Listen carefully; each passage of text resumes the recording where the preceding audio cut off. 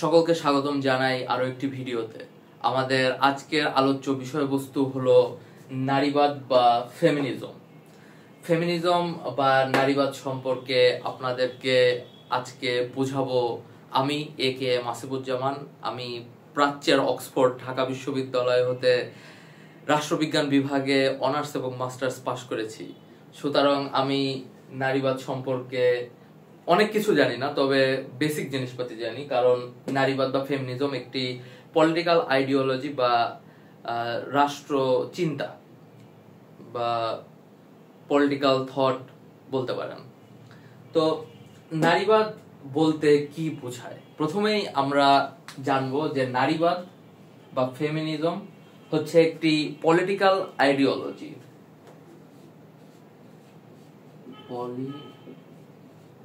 political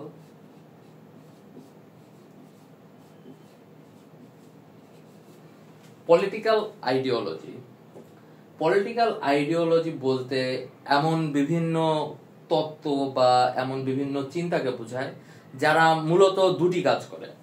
একটি হচ্ছে তারা সমাজের বর্তমান যে অবস্থা, সেই অবস্থার একটি ব্যাখ্যা দাঁড় করায়।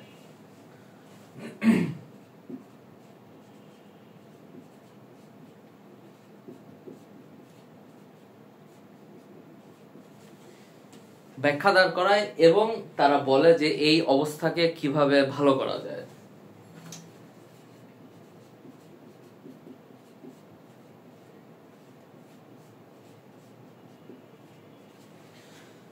আমরা আরও অনেক ধরনের পলিটিক্যাল আইডিওলজির নাম শুনেছি, যেমন ক্যাপিটালিজম কমিউনিজম লিবারালিজম যদিও ক্যাপিটালিজম কিছুটা ইকোনমিক আইডিওলজি পুরোপুরি পলিটিক্যাল আইডিওলজি না, তারপরেও তাকে অন্তর্ভুক্ত করা যায়। তো এরকমই একটি পলিটিক্যাল আইডিওলজি হলো নারীবাদ। তো নারীবাদ আমাদের সমাজের কি ব্যাখ্যা দেয়? ব্রাজিলের ভক্তদের কাছ থেকে আগে থেকে ক্ষমা চেয়ে নিচ্ছি, এই জার্সি ব্যবহার করে বোর্ড মুছবো।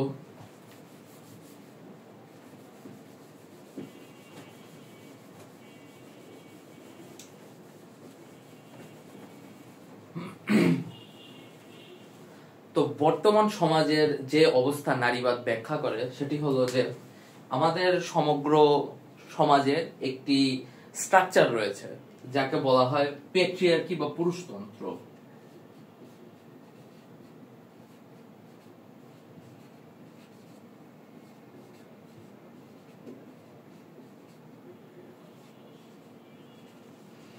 পেট্রিয়ার্কি বা পুরুষতন্ত্র বলতে এমন একটি সমাজ ব্যবস্থা বোঝায় যেখানে পুরুষদেরকে প্রাধান্য দেওয়া হয় এবং নারীদেরকে ছোট করা হয় এবং নারীদেরকে বিভিন্ন সুযোগ সুবিধা হতে বঞ্চিত করা হয়। নারীবাদ শুরু হয়, নারীবাদের কনসেপ্ট আমরা আলোচনা করব। শুরুতেই বলতে হবে আমাদের প্যাট্রিয়ার্কি বা পুরুষতন্ত্রের কথা। পুরুষতন্ত্র বা প্যাট্রিয়ার্কি দ্বারা নারীবাদ এই সমগ্র কারেন্ট সিচুয়েশন মানে সমগ্র সমাজের অবস্থা ব্যাখ্যা করে।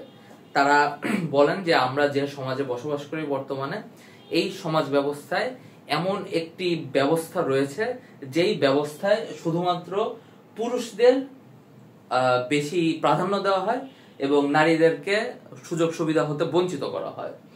তো কারেন্ট সিচুয়েশন ছাড়াও আমরা জানি যে কোনো রাজনৈতিক আদর্শ একটি সলিউশন প্রদান করেন। তো নারীবাদের মূল সলিউশন হচ্ছে গিয়ে যে এই পুরুষতন্ত্র বা প্যাট্রিয়ার্কি দূর করা।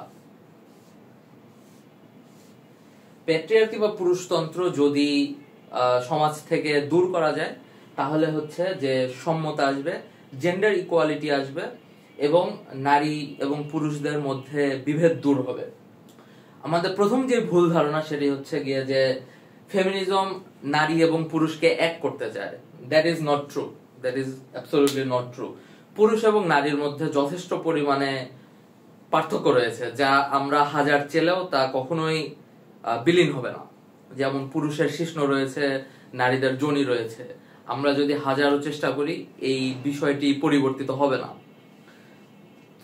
নারীবাদ সম্পর্কে আরেকটি ভুল ধারণা হচ্ছে যে নারীবাদ পুরুষ বিদ্বেষী দ্যাটস অলসো নট ট্রু নারীবাদ কখনো পুরুষের উপরে কোনো কিছু চাপিয়ে দিতে চায় না। তারা ধ্বংস করতে চায় পুরুষতন্ত্র।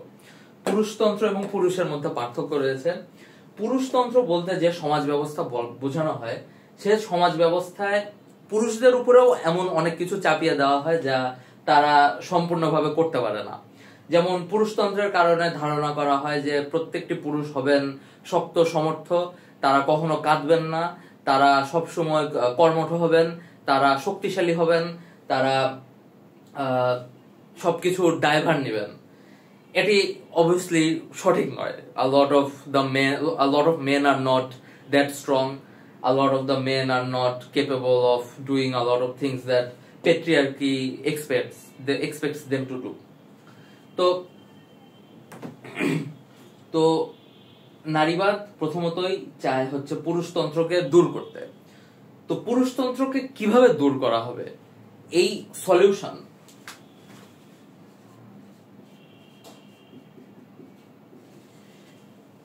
সলিউশনের উপরে ভিত্তি করে সাধারণত নারীবাদকে বিভিন্ন ভাগে ভাগ করা হয়।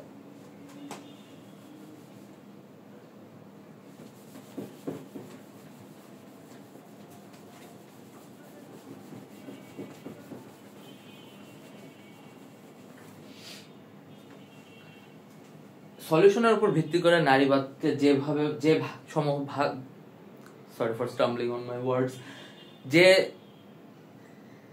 ধারায় ভাগ করা হয়, সে সকল ধারা হচ্ছে liberal feminism radical feminism social feminism এবং আরও অনেক অপশোর বিভিন্ন রয়েছে, যেমন ট্রান্স এক্সক্লুশনারি রেডিকাল ফেমিনিজম বা এরকম।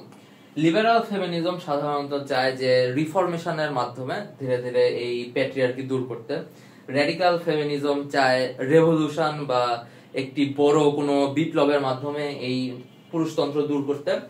সোশ্যাল ফেমিনিজম মনে করে যে আমাদের যে পুরুষতন্ত্র ও প্যাট্রিয়ার্কি এটি সম্পূর্ণভাবে তৈরি হয়েছে প্রাইভেট মোড অফ প্রপার্টির জন্য বা প্রপার্টি রাইটসের জন্য বা সহজ ভাষায় বলতে গেলে ক্যাপিটালিজমের কারণে, পুঁজিবাদের কারণে আমাদের সমাজে বিভিন্ন ধরনের বৈষম্য লক্ষ্য করা যায় এবং পুরুষতন্ত্র বা নারীদের উপরে যে অত্যায় অত্যাচার এবং অন্যায় mix both of them together, যে অন্যায় ও অবিচার করা হয়, সেই অবিচারগুলো হচ্ছে এই ক্লাস কনফ্লিক্টের একটা একটা ধরন আর কি। মানে ক্লাস কনফ্লিক্টের কারণে বা ক্লাস এক্সপ্লয়টেশনের কারণে এই পুরুষতন্ত্র প্রতিষ্ঠিত হয়েছে সমাজে।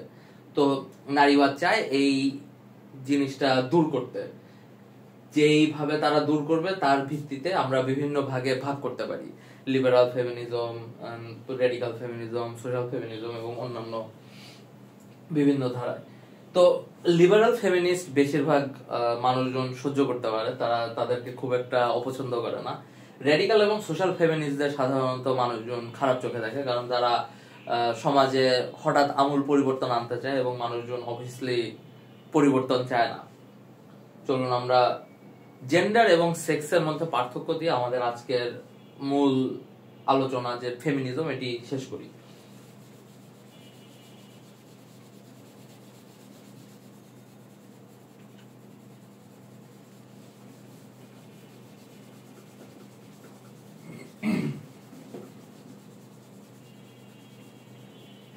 প্রথমে যেটি বলেছিলাম যে নারীবাদ চায় না যে নারী এবং পুরুষকে আক্ষরিক অর্থে সমান করতে that's not possible men can't just become women and women can't just become man তো এক্ষেত্রে নারীবাদ যেটি বলে, সেটি হচ্ছে যে সেক্স এবং জেন্ডার এই দুটির মধ্যে পার্থক্য রয়েছে।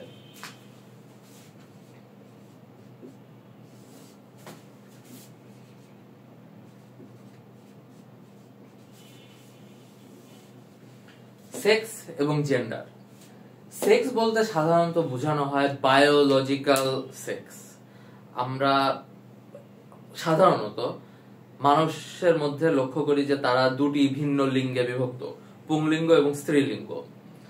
সেক্স বলতে বোঝানো হয় এই অবজেক্টিভ যে পার্থক্যকরণ বিষয়টি তাকে। সেক্স হচ্ছে কি যে অবভিয়াসলি দুইটা রাইট জেন্ডার বলতে বোঝানো হয় অন্য জিনিস। জেন্ডার বলতে কি বোঝানো হয় এটি মনোযোগ দিয়ে লক্ষ্য করুন। জেন্ডার বলতে বোঝানো হয় এই যে বায়োলজিক্যাল সেক্স এই বায়োলজিক্যাল সেক্সটি একটি সমাজ অথবা একজন ব্যক্তি যেভাবে করে ব্যাখ্যা করে, তা হচ্ছে গিয়ে যে gender gender is not sex sex is not gender i'm just saying what they say. I'm not going to agree or disagree with them. I'm just giving you the basics of feminism. তো সেক্সের যে পার্থক্য, এটা কখনোই দূর করা সম্ভব নয়। দ্যাটস লাইক অ্যাবসলুটলি ইম্পসিবল কিন্তু জেন্ডারের যে পার্থক্য জেন্ডার ডিসক্রিমিনেশন যেটি, এটি দূর করা সম্ভব। This is something that we can change দেখুন, যেভাবে বলেছিলাম যে জেন্ডার বলতে বোঝানো হয় যে আমরা এই সেক্সকে কীভাবে দেখি। সেক্স অবভিয়াসলি আমরা জানি যে দুইটা। একটা হচ্ছে যে মেল আর ফিমেল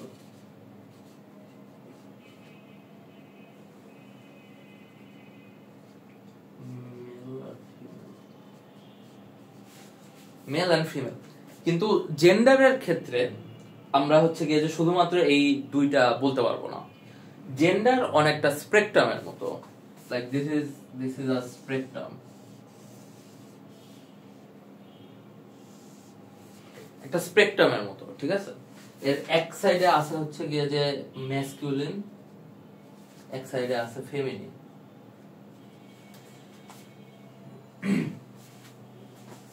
একজন মানুষের সেক্সের উপর ভিত্তি করে তিনি এই যে স্পেকট্রাম এই স্পেকট্রামের যে কোনো অংশে থাকতে পারেন।